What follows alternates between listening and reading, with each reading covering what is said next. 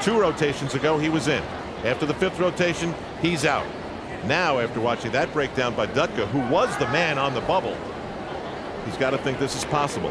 He said that making the Olympic trials was the mission. It was the dream in coming here to St. Louis. Yeah, I don't think that he ever believed he would make that Olympic team, but getting to the trials would be a gigantic stepping stone. I think we don't have the scores in for the other competitors yet. I think it's going to be somewhere 9-0, 9-1.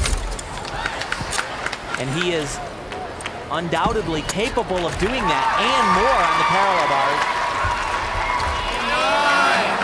Very good on P-bars, but he's one of those guys that kind of, he, he tenses himself to death. Doesn't have major deductions, but just small little things that pretty darn good. And he really does. Yeah, baby. Great job. In the very least, he thinks he's done what he could do to make this possible.